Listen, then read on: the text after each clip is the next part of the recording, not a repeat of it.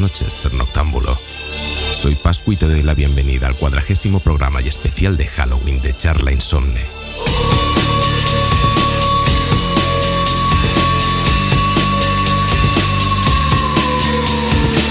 Como cada dos semanas y desde este pequeño y embrujado estudio de radio digital, espero poder hacerte compañía durante esta noche de seres de ultratumba. Como en cada programa, voy a contar con la ayuda de tres personas que se han dejado embaucar para participar en este aquelarre. Volveré a hablar de videojuegos con Héctor y, como no, disertaremos nostálgicamente de los sudores fríos que siguen provocando los viejos títulos de la saga de Resident Evil. Dani vuelve a visitarnos, pero esta vez lo hará para quizá que nos marchemos con él para no regresar jamás. Yo os hablaré de un tenebroso y maldito cruce de caminos, y Jorge nos contará una historia que te helará la sangre. Ajusta el volumen. Empezamos el cuadragésimo programa y especial de Halloween de Charla Insomne.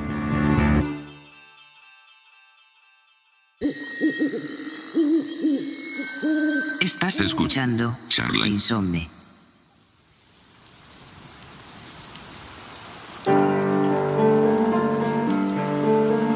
Me han contado muchas historias de miedo nuevas que nunca me han atemorizado como las primeras que escuché. He consumido contenido audiovisual fresco que no ha logrado ponerme la piel de gallina como las de antaño. Cuando estoy solo, y es muy de noche y esto sucede muy a menudo, sigo teniendo los mismos miedos cuando creo ver que una sombra se ha movido por el rabillo del ojo o al escuchar un efímero sonido que no sé identificar con nada tranquilo. Es quizá por eso que siempre pido que me cuenten las mismas viejas historias de miedo que siguen perlando mi frente y mi nuca. Bueno, Héctor, muchísimas noches, ¿cómo estás? Hola, ¿qué tal? ¿Qué tal por ahí? ¿Qué tal el, el tiempo ahí? Calor. Yo ya te lo he dicho, el ventilador puesto me molesta, el ventilador apagado me molesta. Enseguida me lo vuelvo a encender. Aquí en Sevilla, mucho. Demasiado calor. Ah, ¿está haciendo calor allí? Demasiado. Ostras, pues aquí está que sí que no. O sea, depende No, del- no mori- nos morimos de puto asco todos los días. por la y en noche mi también. cuarto, más. Por, la la noche noche, tengo el ventilador puesto. Toda la noche. Joder. Pues aquí ya te digo, está que sí que no. Pero bueno, eh, nada, oye, vamos directamente al grano. Eh, quiero hablar de, de los Resident Evil antiguos, pero no, no quiero despreciar los nuevos, ¿vale? De todas maneras, vamos a ver, el último Resident Evil que ha salido es el Resident Evil 8. Ya comentamos algo del juego, pero solo por el sistema de, de antipiratería. Pero, ¿qué queda en este Resident Evil 8, en esta nueva entrega, de las antiguas, ¿no? ¿Qué, qué, qué ha quedado? Eh, ¿Nada? Hombre, algo habrá quedado. ¿Nada? algún personaje, aunque sea. Bueno. Bueno, más o menos. ¿Quién sale? Chris Redfield y, y ya está. Eh, sí, creo que solo Chris. Bien, yo todavía no me lo he pasado. Eh, empecé a Bueno, pasármelo. Eh, Hank, pero en, en Mercenarios. eh, Que no vale. No creo, vale. Que, creo que sale Hank, no lo sé, no tengo ni idea. Yo me no lo sé, es que, ¿sabes lo que pasa? Que empecé, bueno, tú ya sabes que empecé a jugármelo en verano eh, con Jorge y contigo, tú haciendo spoilers y todo eso, y, y, y, pues es que me he quedado por el último, por Dross, porque se parece mucho a Dross, pues ahí me he quedado. Y a ver si me lo paso, porque la verdad es que le tengo ganas. A mí el juego me gusta, ¿vale? Yo sé que ha tenido críticas por esto, por aquello, pero a mí el juego me parece un buen juego. No obstante, pues, eh, a ver, eh, echo de menos las sagas antiguas. Soy un viejo, es lo normal, ¿vale? Eh, no, no quiero pecar de esto de, no, de, de- este grupo solo me gustan los primeros discos, no quiero decir eso, pero es cierto que el, género de survival horror ha cambiado muchísimo durante estos últimos 10 o 20 años, bueno, 10 años mejor dicho, y tengo una pregunta súper clave. ¿Qué opina usted, señor Héctor de Sevilla, está pasando calor, de las cámaras fijas? A ver, las cámaras fijas son un problema a la vez que en según qué casos pueden estar bien. Explíquese. Eh, no son sé por qué estoy hablando de usted. Explíquese. eh, eh, en general son, son un- una cosa mala. En general. Pues fíjate, a mí es que me gustan muchísimo, tío. Echo mucho de menos las cámaras fijas. Bueno, para el que no lo sepa, pues una cámara fija es, como su propio nombre indica, que no, no te muestra una vista subjetiva en primera persona, como pueden ser los últimos Resident Evil o cualquier juego, cualquier FPS, ¿no? Cualquier shot em up. que mm, pues la cámara la controlas tú. Aquí hay unos ángulos de cámara, ya hemos hablado de esto, que, que más bien parecen eh, planos de cine, ¿no? Están estáticos y tú vas pasando por ellos. Bien. ¿Os lo he explicado mal? No, pe- pero Ah, vale. es que eh, hay problemas con la cámara fija, sobre todo con, con el controlador, con, con el cómo vas a controlar al personaje. Sí, efectivamente. Y ese es el problema más grande que hay. El otro problema es. Te puedes dejar muchas cosas que quieres o no que vean, según muchas cosas. Claro, con y, eso eh, juegan. Y puede ser o no un problema, según en muchos en, el caso. Pero Es que claro, eh, eh, digamos que con unas cámaras fijas casi estás obligado a, que tu personaje tenga unos controles de tanque, que es básicamente unos controles muy, pues muy ortopédicos, por llamarlos de alguna manera. Y claro, eso molesta, eh, no molesta, pero ya se ha quedado muy antiguo. Entonces yo no sé si hay juegos actuales que, que tengan estos, estas cámaras fijas, tal y como se hacía en, en los años 90 en- a finales de los años 90, pero, pero bueno, a mí me gustaba mucho por, por justamente eso, porque te escondían, ¿no? Te escondían a los monstruos o a las criaturas en esos Residents antiguos, sobre todo en el 1, 2 y 3, en, en ángulos que tú no veías.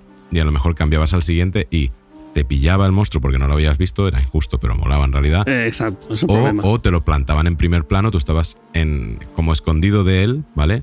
Pero tú sí que tenías a la vista al monstruo en primer plano y te daba como un poco de susto. Entonces yo, ya es, es pura nostalgia, ¿eh? Pero a mí me gustaba muchísimo ese, ese susto que te pegaba, ¿vale?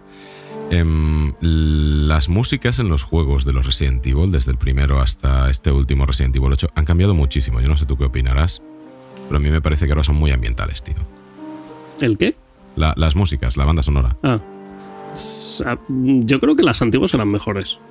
Eh, Ya te- eso ya te lo digo yo, que objetivamente son mejores. No porque me gustan a mí más, sino porque no son de, de mero acompañamiento, no son ambientales y ya está. Eran piezas musicales que una orquesta podía interpretar, ¿vale? De hecho, hay, eh, hay discos, hay un- una versión de Resident Evil Orchestral OST y ahora no se puede hacer eso. De eso puedes hacerlo hasta el Resident Evil 4 y ojo, cuidado con el 4 y paso a este punto. Le- los juegos antiguos pasaron de, de, perdón, de exploración y ese terror y esa tensión constante a más acción. Y esto pasó justo en Resident Evil 4, que está de actualidad. porque está de actualidad, Héctor?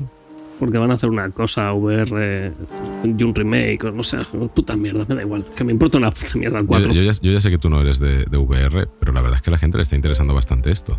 ¿vale? O sea, ya, es- pe- pero el VR hay como tres personas que pueden jugarlo. Sí, eso es cierto, pero te voy a decir una cosa. A mí el VR, em, la realidad, el realidad virtual, perdón, es una cosa que me interesa más bien poco para juegos de terror. Y me explico.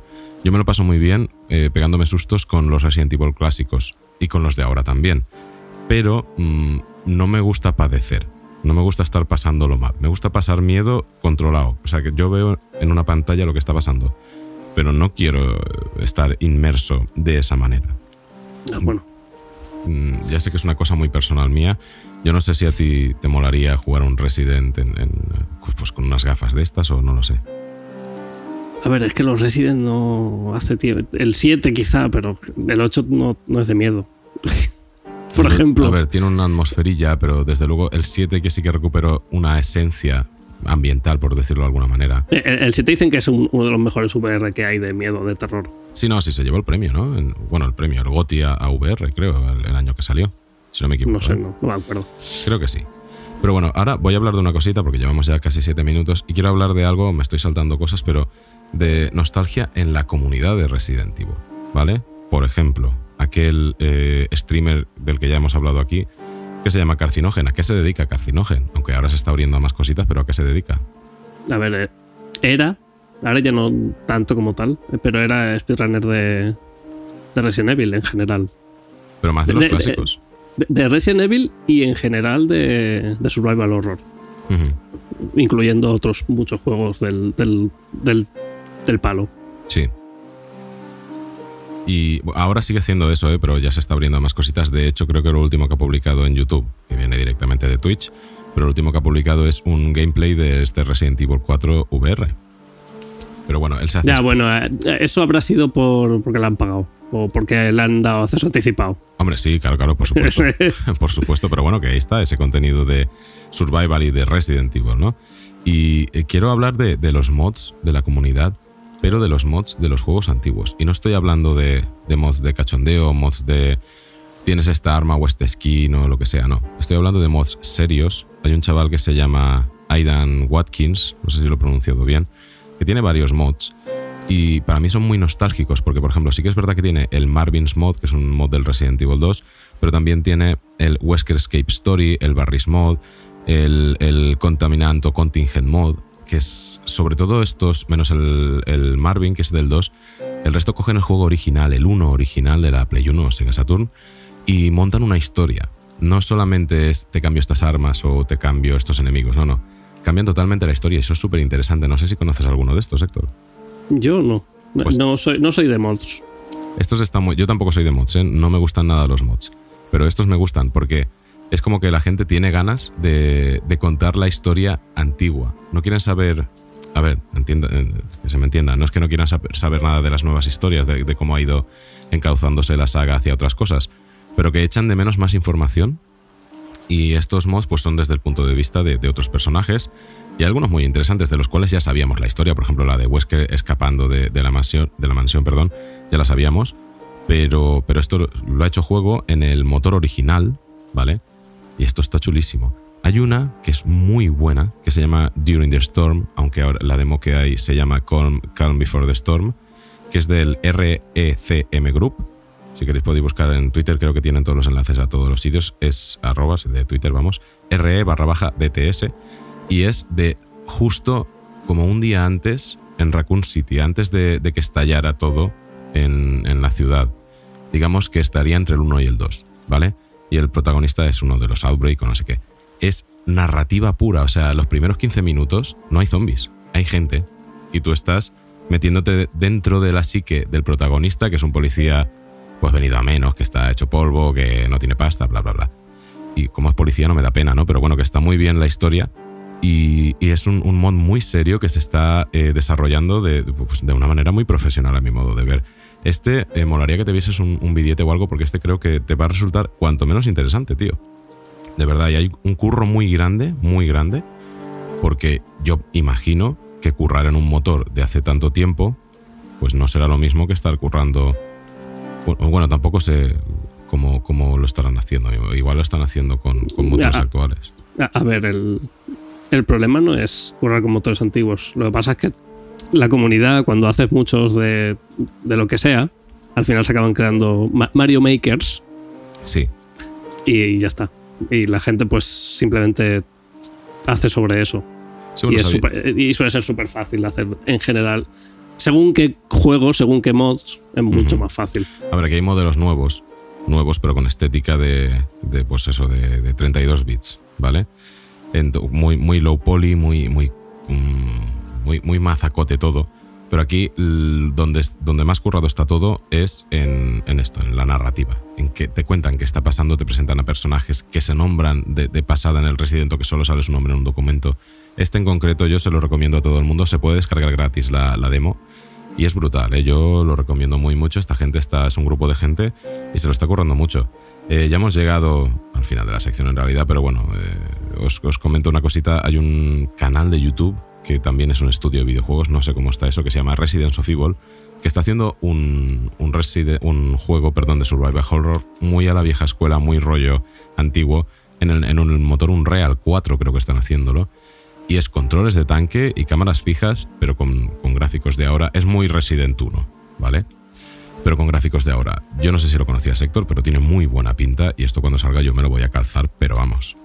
Ti- Tiene ese, tiene ese ambientillo de, de terror, han hecho músicas, o sea, es, es que es un Resident, como si Capcom le- les hubiesen dicho, oye, hace el Resident 1, pero cámbiale la historia y, y eso, como si fuese un reboot de la saga, está muy bien, ¿eh?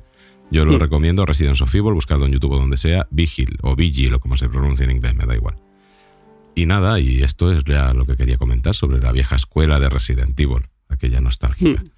Nada, Héctor, pues, pues ya está, pues ya estaría Bueno, esta sección. de antes, antes de eso, voy a recomendar un juego que ha salido ayer o anteayer. ¿Es de miedo? Más o menos. Tiene, eh, eh, más bien creepy, más bien de. Vale. eh, no, no miedo como tal, pero de. mm, Mm, quizás mejor eso que el propio miedo, ¿eh? sí. Tiene también un, un RG, probablemente, un- una búsqueda de pistas y cosas de hacer de. Vamos a ver qué, qué sale de aquí. Está, está, está ahí, hay que buscar pistas. Ese Inscription, Inscription. Inscription, sí. Es, de, es del creador de Pony Island, que es un juego muy raro también. Y es eso, es. Entre comillas, vamos a decir que es un juego de cartas de terror con puzzles. Coño. Y lo voy a dejar ahí porque si hago spoilers, eh, spoiler el juego. Y Vale, eh, el, el juego es para coger y decir, oye, voy a ver lo de X streamer desde el principio, obviamente, si no, no. No tiene sentido. Y, y empezar a verlo o, jugarlo es una barbaridad. Es- Está, está muy chulo. Si te gustan los juegos de cartas, te va a gustar más. Si no, pues un poco menos. Pero es una rayada. Sí, ha- hay vídeos de YouTube, de, de un canal de YouTube y cosas raras ahí. Aparte, de- dentro de tal, te enseñan, no, soy no sé qué, de no sé menos, y, y empiezas a, a ver cosas y dices, ¿qué, qué hablas? Que es como transmedia, o sea, que saltas de- del propio videojuego. Es, vídeo, es- ¿no? es por el ARG, por, el, por la Mm. búsqueda de pistas y mierdas. Ya, ya. Ostras, tío, eso mola un montón. Pues una barbaridad. Tienes, me lo iba a apuntar, pero pásamelo por WhatsApp o por Telegram o por donde sea, tío. Sí, sí. ¿E- ¿Está en Steam o dónde está? En Steam, en Steam. Vale. ¿Pasta? ¿La sabes? Creo que son 15, 20 euros o algo así. Y, Es- y- es- y es por, muy y por lo que he visto, dura unos 20 unas 20 horas. Hostia. Ah, pues, tío, pues sí que es largo. El larguete. Joder. Bueno, te iba a decir así para jugar la noche de Halloween, pero claro, la noche no, pues se te hace de día y, más. Vale, oye, pues gracias por la recomendación. Personalmente te la, te la agradezco. Me imagino que los oyentes y las oyentes también. Y, y nada, terminamos aquí, que ya nos hemos pasado. Sí, son, son 20, 20 pavos. Ahora 20 pavetes. ahora a, a está, euro la ah, hora. ahora está a 18 euros. En, en Steam, al menos. Menos, menos. O sea, quiero decir, eh, más, más barato que aparcar el coche 20 horas en, en un parking de estos privados.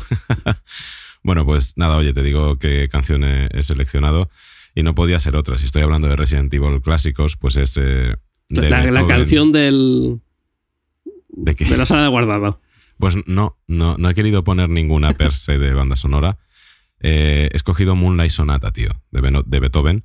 A ver, también es de Resident Evil eso, ¿eh? Es del 1, sí, pero bueno, no es, no es per se del juego. ¿no? El señor Beethoven no la compuso para el juego, ¿vale? ¿Cómo que no? No, bu- bueno, digo yo, ¿eh? Digo yo, no lo sé. A ver, a lo mejor se lo pregunta a Doctor Who. No Eso- sabemos. Eso es cierto. Oye, que es que necesitamos un temazo. Dile a Beethoven a ver. Eh, no, no. Pues nada, el- es, la versión que he puesto no es la del juego. Ya sabes que no me gusta poner bandas sonoras de, de los juegos o las películas que, que nombramos. Y es de, del gran pianista Claudio Arrau. Esta versión es una versión en directo grabada en 1970. Y, y nada, pues esto es un temazo. Dura mucho, son seis minutos y pico, pero es que vale la pena desde el primer teclazo hasta el último, ¿vale? Y nada, Héctor, pues aquí nos quedamos. Muchísimas gracias y muchísimas noches. Pues nada, aquí, bye. Pues eso. Y nada, os dejo con Moonlight Sonata de Beethoven, eh, la grabación en directo de Claudio Arrao.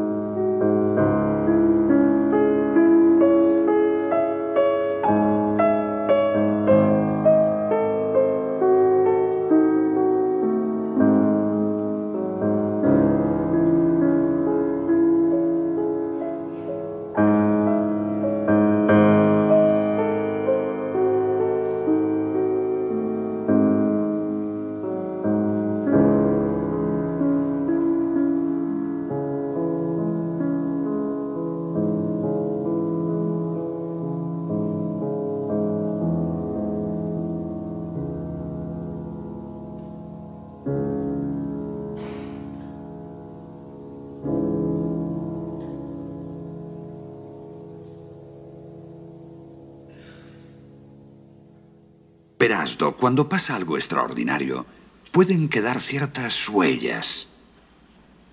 Es como si algo se hubiese quemado. Incluso puede que hechos que han pasado dejaran otro tipo de huellas. Algunas cosas que la gente no advierte. Pero que aquellas personas que resplandecen sí ven. También pueden ver cosas que aún no han pasado. Bueno. Y otras veces ven cosas que ocurrieron hace mucho tiempo. Yo creo que aquí pasaron muchas cosas, precisamente en este hotel, durante años, y que no todas fueron buenas. ¿Y la habitación 237? Habitación 237. Te da miedo esa habitación, ¿verdad?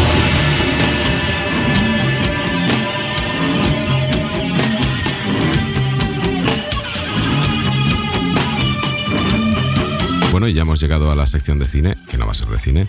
Y aquí tenemos a Dani desde Valencia. Dani, muchísimas y terrorifiquísimas noches. ¿Qué tal? ¿Cómo estás? Muchísimas y espero que no terrorifiquísimas. bueno, de, de, eso justamente vamos a hablar o quiero comentar yo, porque sí. venimos de la, de la nostalgia de, de, los Resident Evil clásicos, a los que tanto me has visto tú jugar. Y ahora nos vamos también a la pura nostalgia de, del gran estudio 1, ¿vale? Del teatro. Vamos mm. a comentar una obra de teatro. Sí. Que, ¿Cómo se llama, Dani? Pues se llama La Dama del Alba. Uh -huh. Además, no es, no es, la primera vez que comentamos teatros de Estudio 1. Va, Yo, así en general, así de, de primeras, creo que mmm, ver prácticamente cualquier obra de teatro, supongo que no prácticamente, habrá, habrá cagarros, Sí, seguro. pero, pero yo qué sé, a mí me... Tengo muy, muy, muchas obras de teatro pendientes de Estudio 1 que quiero ir viendo y creo que es bastante recomendable así en general. Sí, bueno, sobre todo las, las, las que están en blanco y negro son todas buenas, ¿vale?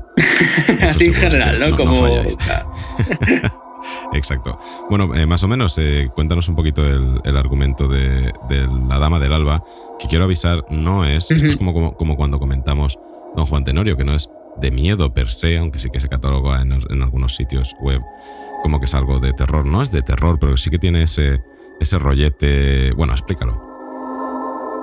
Vale, sí, de terror no es, diría yo, porque yo no veo cosas de terror. Un capítulo especial de Halloween, pero yo soy un cagao y no veo cosas de terror. A ver, en Film Affinity he visto que lo catalogan como realismo mágico. Bueno. No sé yo si eso. Bueno, podría ser algo así, ¿no? Bueno, eh, la, es una obra de teatro, como ha dicho Pascu, ¿vale? Que, que trata, está en Asturias, ¿vale? Es un... Eh, bueno, están, eh, toda la obra de teatro se sitúa siempre en, en una casa, ¿vale? Eso, que es la casa de una familia. Eso a mí me encanta. Yo, y además, eso y además me de noche. Sí, siempre de noche, es verdad que eh, porque hay bueno, eso si quieres lo, lo hablamos luego. Eh, digo primero así un poco el, el argumento. Sí. Es una familia, ¿vale? Que hace tres años perdió a su hija mayor, ¿vale? Uh -huh. Y, en general, pues toda la familia está súper afligida, sobre todo la, madre de, la chica, porque era una chica joven cuando, desapareció. Y, entonces super, la familia súper triste. Eh, y justo cuando se cumplen tres años de la noche en que ella desapareció, desapareció eh, reciben de noche la visita de una dama.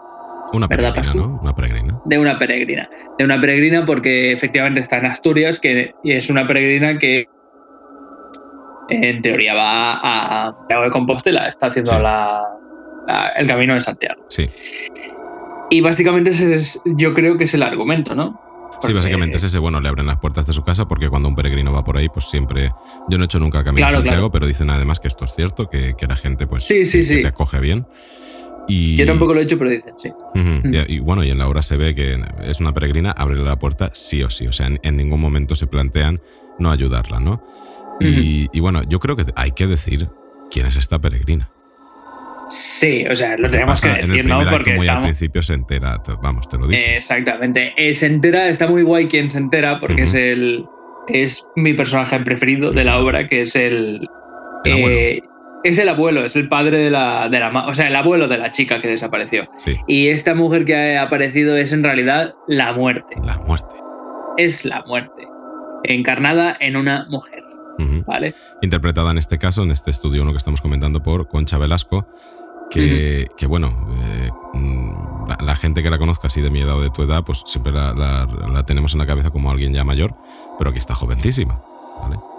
No, no, en este, claro, en esta, en esta obra de teatro no, no está nada mayor. De hecho, o sea, está, no sé cuántos años tendrá, pero no creo que más de 25, No, ni de coña. Yo creo que menos.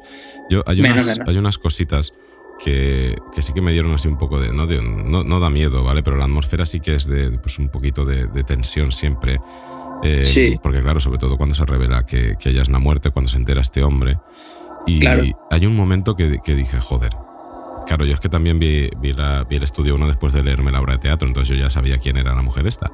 Pero Mm, hay un no. momento que está jugando con los niños, la, la dama del alba, Sí. y, y empieza a reírse, ¿no? Eh, tiene una risa como Sí, muy sí, sí. ascendente y, y al principio es una risa normal y, luego- y luego estridente y como que da rollo. Sí, luego que da mal rollo, que molesta y que a la vez dice, ¿qué le está pasando exactamente? porque está haciendo esto? ¿sabes? Exacto. Además, ella misma se asusta. De- Claro, la ella risa. misma se asusta y dice, ¿qué es esto que sale de mis labios? Tal. Exacto, Y en plan, ella se está asustando porque evidentemente es la muerte y nunca ha reído. exacto. Porque ella no suele acercarse a los niños, porque si se Hmm. acerca, pues pasa lo que pasa. Exactamente. De hecho, el abuelo, cuando descubre que es la muerte, le dice, vete de aquí, pero ya en esta casa hay niños y, y todo eso. Y ella le responde, esto no funciona así. Exacto. ¿Vale? O sea, básicamente le dice, esto no funciona así, yo solo vengo a quien tengo que venir. No, no vengo. Y, y le dice, en este caso no vengo a por ningún niño. Ujú. Claro, El, el abuelo primero piensa que es para él, pero claro, para cuando dice, no, no, yo a por ti no vengo, ya se acojona. Claro. Y a mí hay una cosa que me gusta mucho, ya sabes que soy muy fan de Mundo Disco, y es la muerte personificada. En las novelas de, Sí, sí, de sí. Mundo Disco, pues... Mira, me acordé de ti viéndola, el, digo, mira, como, como Mort de, Sí, exacto. De Mundo Disco. siempre se trata al personaje de la muerte cuando, cuando pasan estas cosas, cuando tiene un protagonismo, cuando tiene un diálogo, eh, de una manera que cada vez se va humanizando, ¿vale? De hecho, ella no se había reído nunca y, y cuando dice, ¿qué es esto que sale de mis labios? Los niños le dicen, es, es la risa, no te habías reído Es nunca. la risa. Claro. Ujú, Y Es es verdad, gra- se lo preguntan. E- Exacto, y es gracias a, a esa relación con los niños y ella, ella ama a los humanos, ¿vale? Es, es- es un amor totalmente ciego, de hecho, por culpa de, de amar a los humanos, pues alguna vez sí que se ha, ha matado a algún niño o ha dejado ciego a Sí. alguien, la ha liado, ¿vale? Es verdad, sí. Y, y yo creo que es que la muerte como que quiere vivir, ansía vivir, ¿vale? Sí. Ansía vivir y ansía no solo vivir, sino todo lo que implica vivir. O sea, ella incluso dice, pues, que le gustaría como, no sé si dice exactamente enamorarse, pero sí, en plan de Sí, sí estar con dice, gente sí, y sí. estar, estar viva. No es todo solo vivir, sino estar viva y hacer cosas de, de gente que vive y que es feliz. Sí, sí, cosa sí. que yo no puedo hacer. Y es verdad que está, eh, yo no había caído, pero ahora que lo dices, es verdad que está súper humanizada y eso está muy guay, es cierto. Y se va viendo el proceso de, de cuando ella es la peregrina que sabe a lo que va y de repente, sobre todo cuando se acercan los niños, o hay una cosa muy, muy buena que cuando el abuelo ya pilla quién es, dice, hostia, ya sé quién eres, le dice, bueno, pues el, el perro se ha dado cuenta antes que tú y él piensa poco. ¿Vale? Sí, es verdad, es verdad. Le dice, no te creas, no te creas muy listo que el perro se ha dado cuenta enseguida. Exacto, exacto. Y es, Sí. Es muy curioso esta relación de cuando los autores o las autoras personifican a la muerte, esta relación con los animales. O sea, los animales como que enseguida se enteran de, de que la muerte es la muerte y no la ven como algo amenazante, simplemente Sí, es algo... pero yo, o sea, ¿tú crees que le quieren dar ese sentido a... O sea, porque yo la verdad es que sí que dije, ¿por qué exactamente han dicho esto? Yo sí que me fijé claramente y de hecho me hizo bastante gracia, pero Mm, no entendí por qué, por qué el perro sí se había enterado y qué querían decir con eso. Yo exactamente de, de- Yo no sé si Casona lo escribió así, pero por todas las eh, obras audiovisuales o escritas que he leído, y especialmente pues Mundo Disco, eh, es esa, pues, los animales la conocen y como que la tienen muy asumida. Es, una parte más de su... Mm, Muy normalizada, ¿no? muy normalizada, ¿vale? Entonces la reconocen, por tanto ella, la muerte, les, eh, les tiene cariño porque no la rehuyen en ningún momento. Y, y, por ejemplo, en Mundo Disco, eh, pues la muerte adora a los gatos y no se te ocurre hacer nada contra un gato. Entonces, eh, ella mm, sí, sí, que, sí que se permite el, el matar antes de hora a alguien que esté haciéndole algo malo a los gatos. Hay una cosa muy buena de los niños, porque ella disfruta mucho con los niños, ¿vale? Y los niños, a ella, eh, vamos, que disfrutan mucho de su compañía también. Porque Sí, sí, la quieren un la montón. O sea, porque muchísimo. Y quizá esto, yo, son pajas mentales de estas que me hago yo, pero yo creo que es porque los niños, eh, claro, son los, los seres con más vida. No me refiero a, a- a longevidad, porque quiero decir que les queda sí, mucha vida. con más delante. vitalidad, ¿no? Sí, con más vitalidad, entonces que más disfrutan de la vida y, y no entienden la muerte como... A ver, claro, obviamente le tienen miedo a la muerte como todos los humanos, pero es algo que les tiene muy lejano y que ya vendrá, Ya, ¿no? Y Es- que la tienen menos. Sí, sí, que es. Bueno, no, no le tienen tanto miedo así de, de verla cerca, claro. Exact- efectivamente. Podría ser, podría ser perfectamente que, que fuera así. De hecho, los niños, no sé si. O sea, eh, no sé si tiene mucho que ver los niños en sí, pero ella se queda dormida y no Sí. puede hacer su tarea de esa noche. Y yo sí que creo que es por culpa de los niños, por ¿no? Culpa de los por la- niños. La han porque ha estado tan a gusto que se ha quedado agotada y se queda dormida y no puede hacer su trabajo, que es matar. Ujú. Y, en ningún momento ella dice, los putos críos estos que me han No, acojonado. no, que va, que va, No, que va. Simplemente sí que se lamenta por, Hmm. por no haber podido hacer su trabajo, pero. Pero dice, bueno, da igual, o sea, lo pospongo ya. Y Exactamente. sí, es muy. Es, es- es un poco burocrático, no sé cómo llamarlo, muy, muy, no sé. Sí, bueno, de hecho en Mundo Disco también es un poco burocrático, o sea, Sí. de bueno, de hecho bastante. Lo- Sí, sí, sí, sí, sí. sí. Eh, yo creo que también mm, no, no, culpa, no culpabiliza a los niños de, de que ella no haya podido hacer su faena. Mm, Porque claro, no. ella los ama con locura y yo creo que es, además se sienten muy atraídos, ella por ellos y ellos por ella, porque Sí, como sí, son las personas con más vida, con más vitalidad, ella ama la vida, ella querría estar viva, Claro, querría saber que es lo que claro, estar claro. viva, y ella es, es como que le están los niños enseñándole a vivir. Y no sé, está muy guay. Y ya os digo, Está de, muy guay, sí. de miedo no es, pero, pero sí que tiene ese rollo, claro, está la muerte ahí. No, no es de miedo, pero sí que da un, un- un rollito que, pues eso, de, de que la muerte está presente y, Exacto. y no sé. Y, y está guay, sobre todo por lo que tú dices de, de que la muerte también es. O sea, iba a decir, la muerte también es una persona, no, coño. De, de humanizar la muerte y de. Y yo, yo qué sé, pues de que. de- bueno, por eso. Sí, lo que no, has dicho. Está bien, está bien. Eh, nada, oye, ya nos hemos pasado, pero eh, yo tengo una pregunta para ti, porque Sí. al final de la obra, sin hacer spoilers, hay un momento que yo creo que, que la muerte eh, mm, influye demasiado en la historia. Y creo que quiere que muera un personaje. ¿Sabes lo que digo? No quiere que, que muera porque le haya llegado su hora, sino para que se arreglen No las cosas en esa casa. Yo Ah, vale, sí, sí, sí, algo, sí. creo, ¿eh? La, hombre, sí, sí, totalmente. O sea, de hecho, es verdad. O sea, eso no es un momento en el que la muerte simplemente vaya a cumplir el papel de que a esta persona le toca morir. O a lo mejor sí que es eso. Y en realidad eso se tenía que producir porque ella misma participase de su muerte. ¿Sabes lo que quiero decir? Mm, va- ah, vale, va- mm, vale, te lo compro. ¿Sabes? O Te sea, quiero compro. decir que eh, ella va a hacer su trabajo, que es que esa persona muera, pero para que esa persona muera Tiene que necesita intervenir. que ella misma, la muerte, intervenga y le convenza de que tiene que morir. Ostras, pues no, no había- Yo creo, ¿eh? Pues yo podría creo. ser, me gusta, me gusta esa teoría. Mm, la suscribo totalmente. Y nada, tenía más cositas apuntadas, pero bueno, vale la pena. Buscad en, en Google mismo, cualquier buscador, eh, La Dama del Alba Estudio 1, y de verdad, está muy bien la obra. Si no, Sí. leosla. También leída es una pasada, ¿eh? También. Yo ya me la he leído dos o tres veces porque entra muy fácil, ¿eh? Es, bueno, como cualquier obra de teatro. Sí, bueno, eh, no lo hemos dicho, pero la escribió Alejandro Rodríguez Álvarez. Eh, lo digo por, yo qué sé, Eh, reconocer. ¿esto, ¿Esto no es de Casona? Eh, eh, Ostras, vale, yo, búscamelo. yo rec- reconozco que lo he buscado en Wikipedia. Ah, sí, sí, el dramaturgo Alejandro Casona, tú, tú, tú. Ah, vale, vale, vale, vale. De- te lo- justo. Ah, sí, vale, no, es que son la misma persona. Ah, vale, pues mira. Conocido como Alejandro Casona, vale. Esto yo no lo sabía. Pues es que tengo unas cositas Vale. apuntadas porque en Estudio 1 empezaron a hacer muchas obras de, de Casona. Y claro, Vale, yo pues, sabía que este hombre estaba en el exilio. gente, digo, por- Ale- Alejandro Casona es en realidad Alejandro Rodríguez. Álvarez. Esto yo no lo sabía. Vale. ¿eh? Yo- vale, pues entonces sí, tenías razón. Este el señor ese, conocido como Casona, es lo que te iba a decir. Vale. eh, no, no entendía por qué empezaron a, a- bueno, hacer obras de teatro en Estudio 1 cuando era en plena dictadura. Lo que pasa es que he leído, bueno, da igual. Nada, que estaba... No, no, sí, sí, a mí me interesa, por favor. Vale, pues eh, era, resulta que, que hubo un- una etapa a- al final, si quieres decir al final, pero bueno, a mitad finales, que Sí. en la dictadura pues querían mostrar que el régimen era aperturista, ¿no? Entonces, Ya, la dicta blanda, ¿no? la dicta blanda, claro, algo así, ¿vale? Pero que en realidad, pues bueno, era una pantomimeta pues para... Bueno, que sí, Ya, que ya, esto ya ya. lo sabéis, esto yo no tengo que explicar nada. Y entonces dejaron volver a Alejandro Casona y lo utilizaron un poco como esta- estandarte perdón, del movimiento aperturista de, de la dictadura. Ujú. Y Muy bien. bueno, pues eso, pues Vale, no hombre sabía. pollino y tal. Vale. Perfecto. Lo último que quiero decir simplemente que todas las obras de estudio 1 están subidas a radio televisión a la web eh, rtve.es Todas, y las no, podéis ¿eh? buscar perfectamente. Todas, Ah, todas no. Bueno, me refiero, por lo menos las que nosotros hemos comentado sí, porque Sí. las vemos de esa manera. Efectivamente.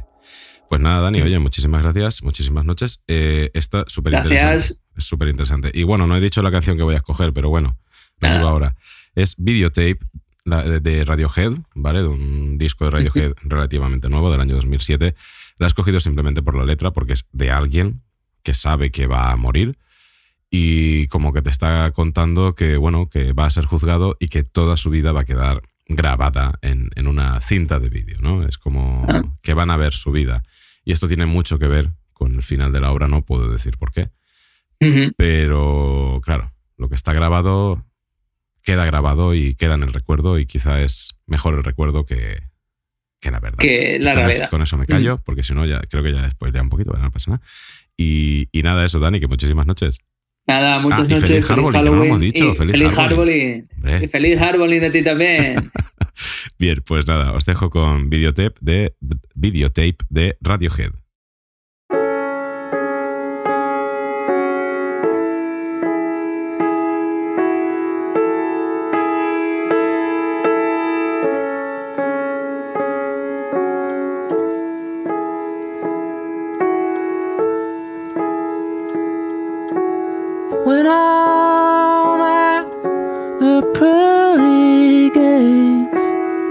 to be on my video.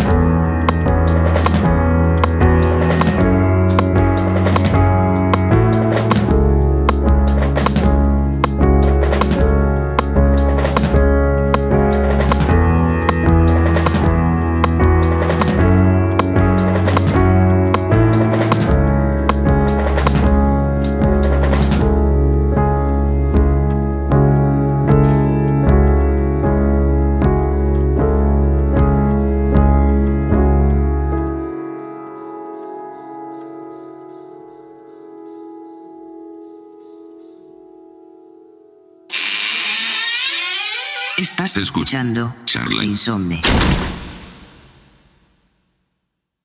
Bien, eh, no es la primera vez que os hablo de músicos que han vendido su alma al mismo diablo con el fin de ser el mejor en su instrumento. No obstante, creo que este músico es quizá el, el más famoso que ha realizado este supuesto trato con el maligno. Y nada, eh, os pongo una canción de este gran artista y, y a ver qué me decís.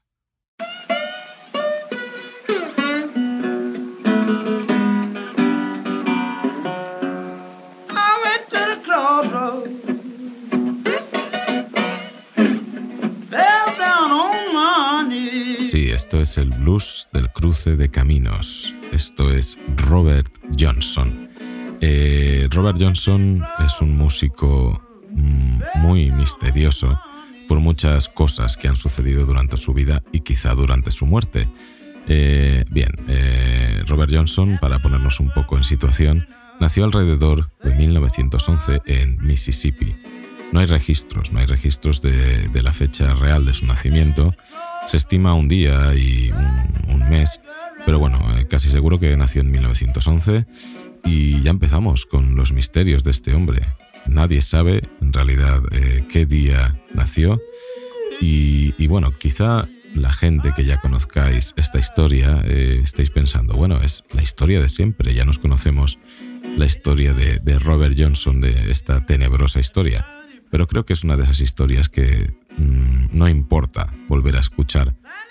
Además estamos hablando de un gran músico. Eh, bien, tened en cuenta el racismo de la época, ¿vale? Estamos hablando de que nació pues, en la década de los eh, 10, de los años 10, ¿no? Imaginaos en el sur de Estados Unidos, si ahora está como está todo ese país con el racismo, eh, imaginaos hace más de 100 años, era todavía peor, ¿vale? Eh, de hecho, su padre biológico se cuenta que tuvo que huir, mm, no conoció ni al crío, creo, ni a Robert Johnson de pequeño, me refiero. Eh, se huyó porque unos terrateni- terratenientes blancos pues, pues querían matarlo, ¿vale? Entonces él tuvo que escapar porque entre otras cosas si lo hubiesen matado tampoco hubiese pasado nada. Eh, él era nieto de una esclava y, y bueno, este hombre está considerado el mejor bluesman de la historia. Solo él y su guitarra, su famosa guitarra L1 de Gibson, famosa, este modelo es famoso gracias a Robert Johnson y no al revés. Em, repito, es el, mejor bluesman de la historia y por entrar un poquito en detalles técnicos de, bueno, técnicos, cómo tocaba él, eh, su estilo, eh, muy marcado, eh, pues dependía mucho del slide o del bottleneck. Para el que no lo sepa, un bottleneck no es más que en aquella época un cuello de botella total que te ponías en un dedo y entonces deslizabas sobre las cuerdas. Eh, ahora los slides, se llaman slides, eh, son pues de otros materiales. Yo, por ejemplo, tengo de, metal, de, cerámica, de barro, hay de muchas maneras.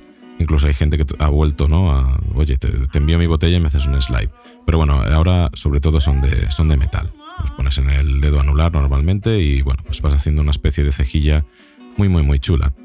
También hablamos de tresillos de- del señor Robert Johnson mm, y de glisandos, ¿vale?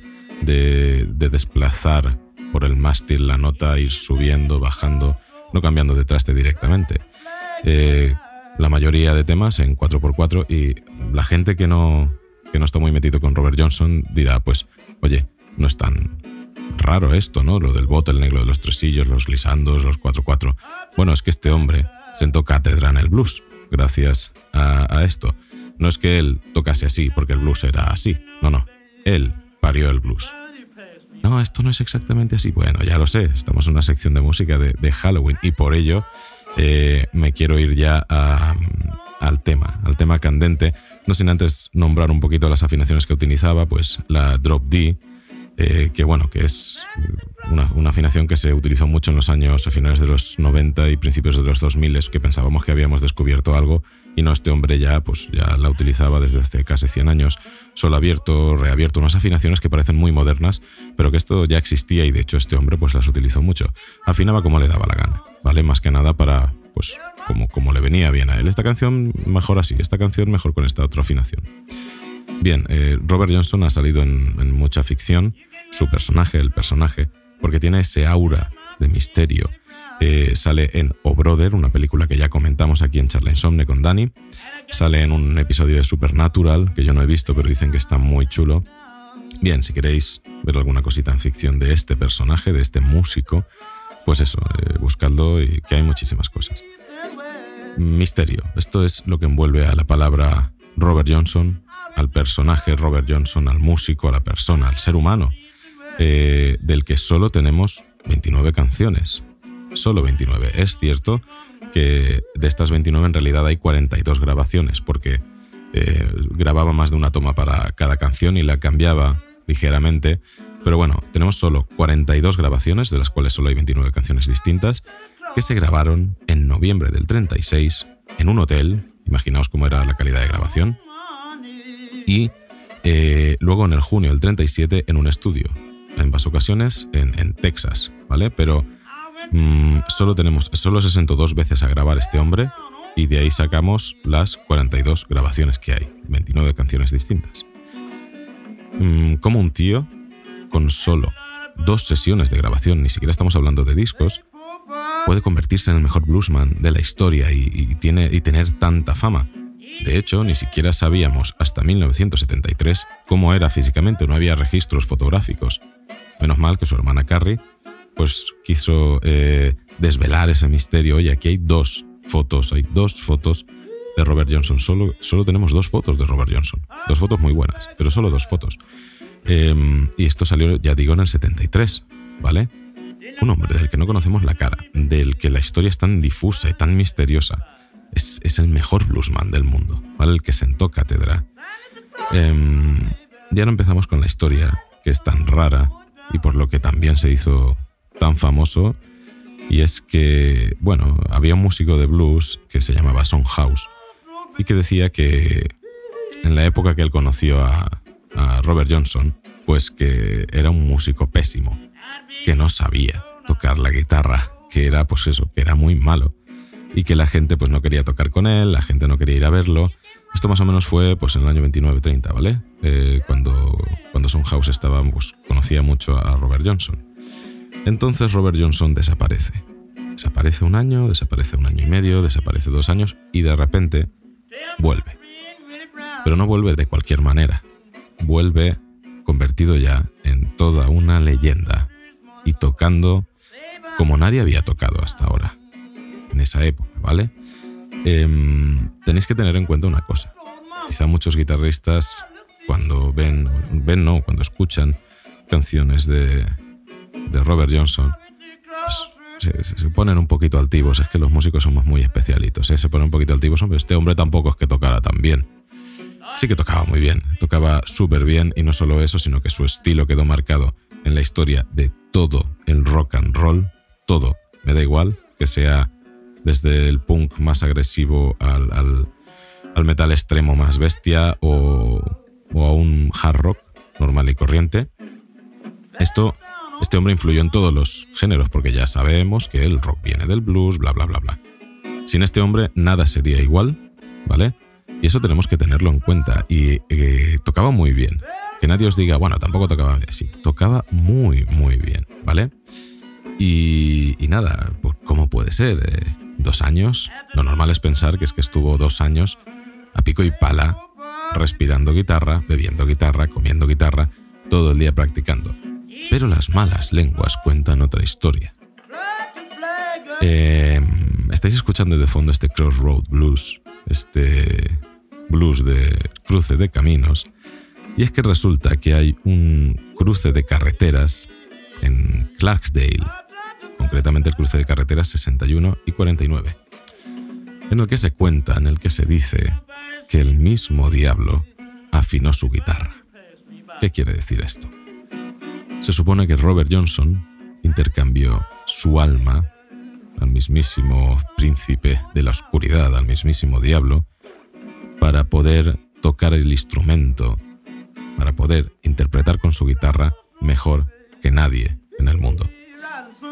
Claro, después de un año y medio de desaparición, de repente vuelve, de repente tiene unas técnicas que nadie había utilizado antes. Eh, pues la gente se lo cree. Y él tampoco lo desmentía. Esto no es una leyenda moderna, esto es una leyenda de cuando él regresó. Y, y él pues no desmentía las cosas porque le daba también un poquito de, de- de fama a esto. Bien, em, el asunto es que además otro misterio más es que en su muerte pues resulta que es que falleció en extrañas circunstancias. Se, se comenta si fue envenenado, si fue apuñalado, no se sabe, no, no hay ningún registro oficial que, que explique efectivamente la muerte de, de Robert Johnson. Inició el Club de los 27, que es ese infame club en el que los músicos entran cuando mueren a los 27 años. Murió súper joven, ¿vale? Y, y bueno, fue, esto fue en, en 1938 cuando falleció. Y aquí vamos, aquí vamos, porque si el mismo Robert Johnson no desmentía que había vendido su alma, eh, además tenía seis canciones que hablaban del diablo. Directamente hablaban del diablo. Seis canciones, ni cinco ni siete, seis. Y ya sabemos el número seis. ¿De qué va en todo esto? Como ya he dicho antes, murió en 1938, pero no en su casa, no. Murió en un cruce de caminos, como no podía ser de otra manera. Eh, entre las extrañas circunstancias de su muerte y que murió en un cruce de caminos, imaginaos cómo, cómo la leyenda siguió creciendo y creciendo. Y de hecho hay tres lápidas en Greenwood, donde se supone que está enterrada en alguna de las tres, pero no es cierto, no está, entre- no está enterrado en ninguna de las tres. Otro misterio más. Eh, la tumba real, según Sony, que es el que, el que se encarga de los derechos de las canciones, el que lo editó y tal, la tumba real está debajo de un árbol, no tiene cruz, no tiene lápida y está enterrada en el mismo cruce de caminos donde se supone Robert Johnson vendió su alma al diablo. Bien, en cualquier otro episodio os diría que discrepo de, que este hombre hizo esa transacción, pero estamos en el episodio especial de Halloween de Charlie Insomne, así que hoy diré en este hálito tan tenebroso que, que aquí queda la historia. No voy a decir si pienso que es real o no. El asunto es que este hombre estaba rodeado de misterios desde su nacimiento hasta su muerte y que regresó tocando la guitarra como nadie antes la había tocado, que influenció a todos los géneros musicales que, escuchamos ahora, porque del blues viene todo, y, y que quién sabe cómo consiguió esa técnica, ese saber tocar la guitarra. Sin más dilación, os dejo con una canción que no podía ser otra, que se titula Me and the Devil Blues, The Devil Blues, mejor pronunciado, que básicamente sería el blues del diablo y yo. Aquí os dejo este gran tema y misterioso tema de Robert Johnson.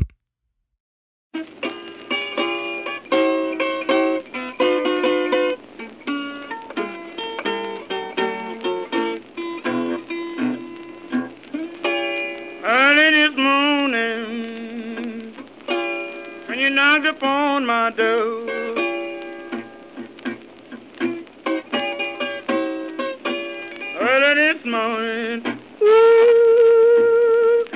you knocked upon my door.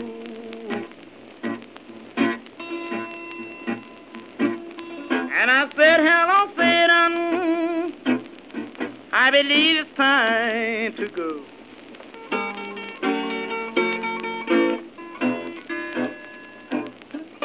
Me and the devil was walking side by side.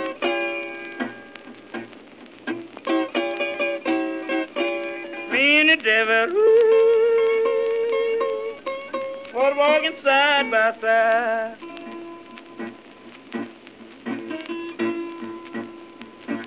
And I'm going to beat my woman until I get satisfied.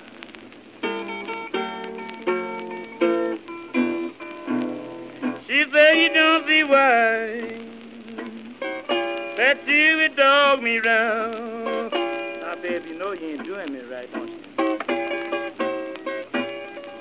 You don't see why ooh, that you would dog me round.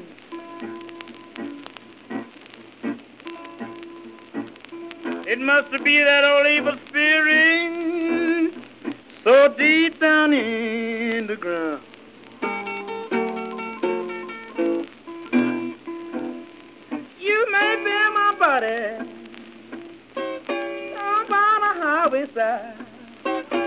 Don't care where you bury my body when I'm dead and gone. You may bury my body ooh, down by the highway side.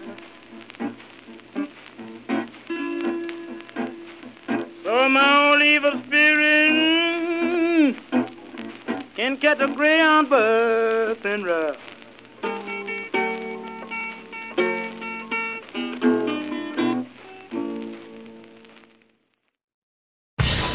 No hay ningún niño por aquí. Sí lo había. No hay ningún jodido niño. Está bien. Calmaos, calmaos. No he oído nada desde que echamos a correr. Estás escuchando Charlie. Insomnio.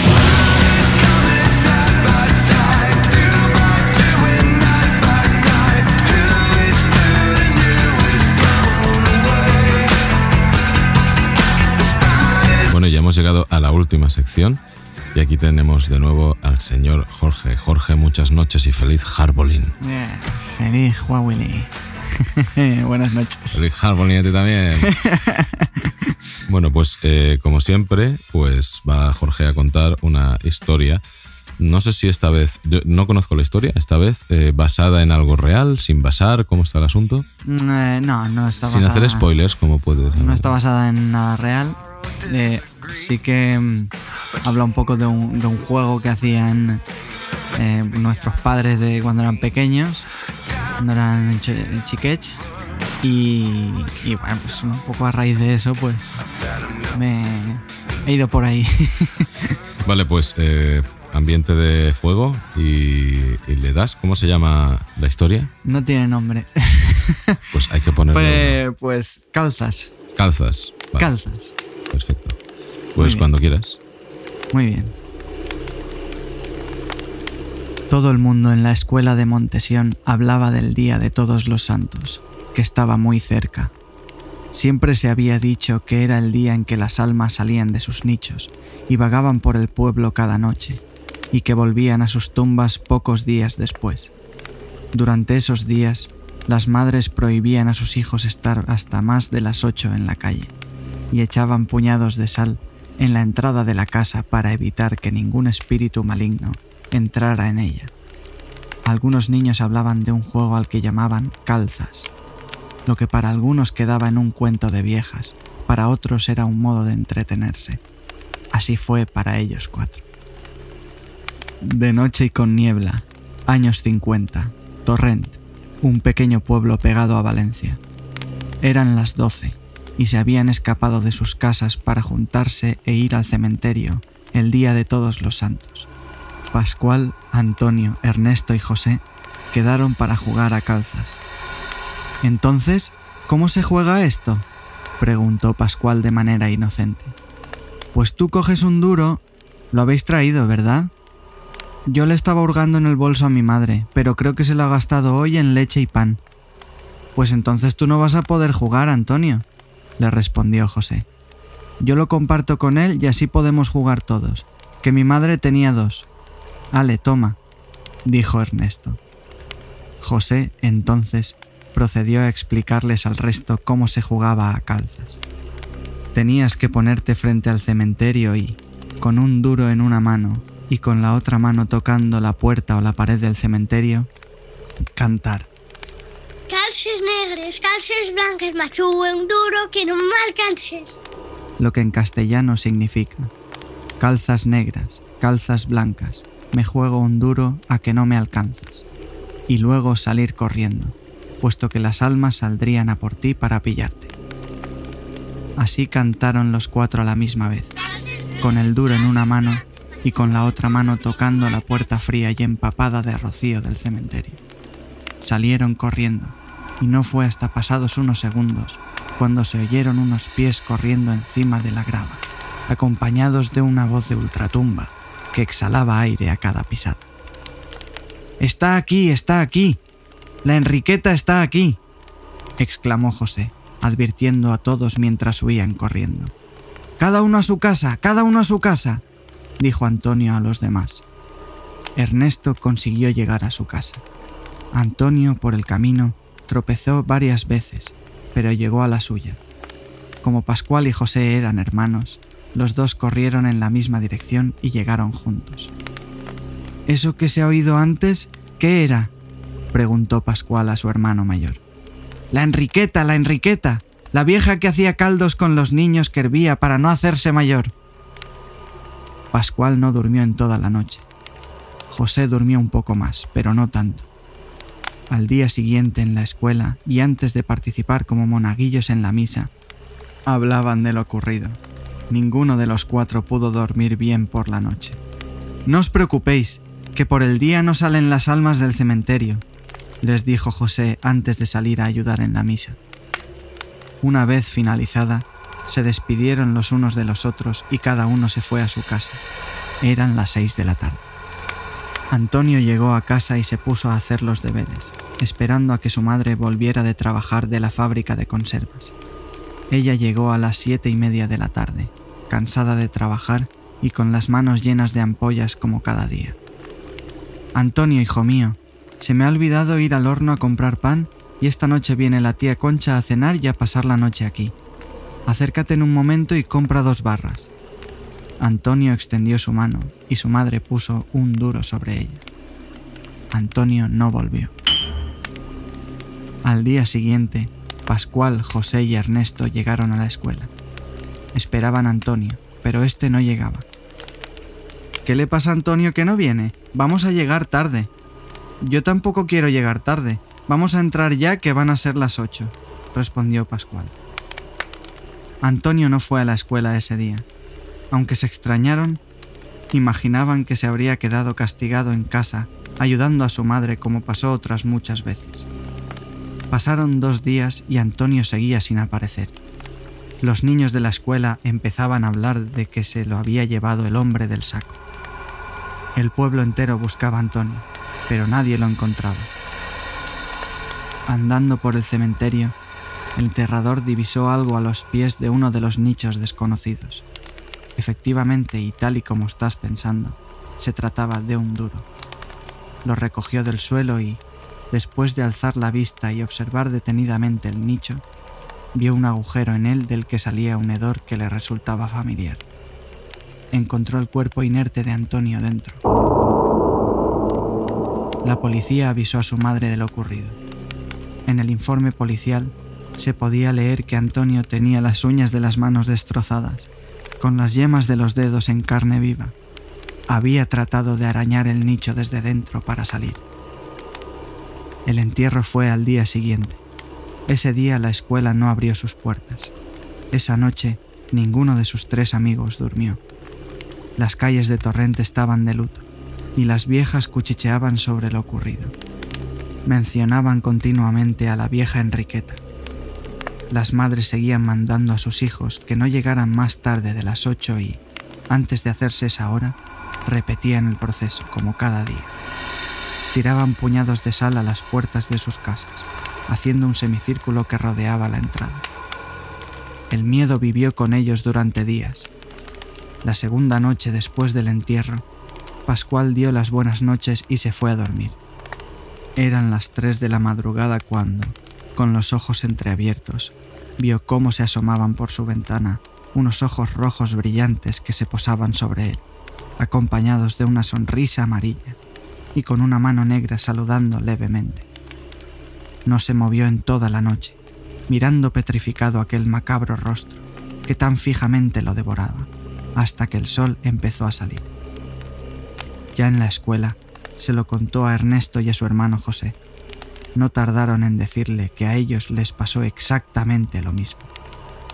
Lo que no sé es por qué se quedó mirándome, si pudo entrar en cualquier momento, dijo Ernesto.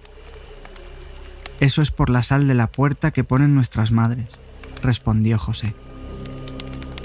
Esto mismo se repitió durante noches y los niños no sabían qué podían hacer. Casi no podían dormir y sus padres empezaban a sospechar algo.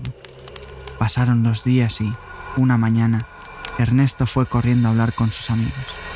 Ayer hablé con mi abuela. Me dijo que, antiguamente, se echaba sal alrededor de las tumbas de los viejos brujos para que no se despertaran durante la noche. No tardaron en averiguar que, efectivamente, la sal que echaban sus madres a las puertas de la entrada de la casa impedía que el maligno espíritu irrumpiera en ella para llevárselos tal y como hizo con su amigo Antonio. Así pues, cogieron uno de los sacos de sal y, por la mañana y antes de entrar a la escuela, se fueron a la tumba donde murió Antonio y echaron un puñado de sal cada uno, tal y como lo hacían sus madres. El enterrador se acercó a ellos. ¿Qué hacéis, niños? ¿Por qué ensuciáis mi cementerio?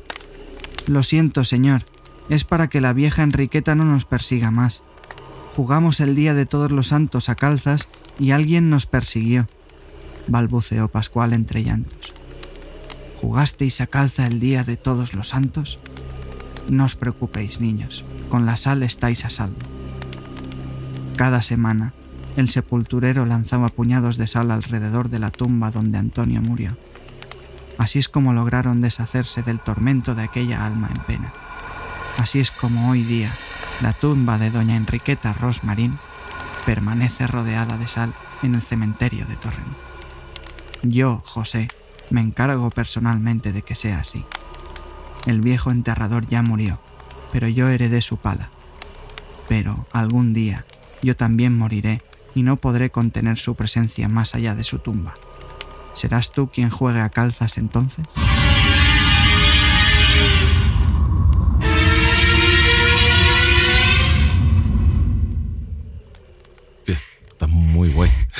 Me ha gustado mucho. Si te ha gustado el vídeo, Está muy guay. Me ha gustado Bueno. muchísimo. Esta historia nos la contaban, eh, bueno, mi padre sobre todo. sí, Y no esta historia en concreto, sino el juego de, de calces negres, calces blanques. sí. Y, y siempre da un rollo muy... Ojo, ¿eh? Es que encima la cancioncilla infantil... Sí, el- sí, sí, sí. No mola nada.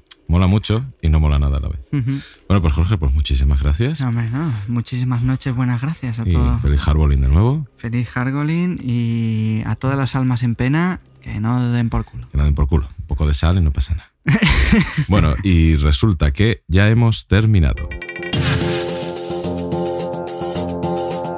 El cuadragésimo programa y especial de Halloween de Charla Insomne acaba aquí.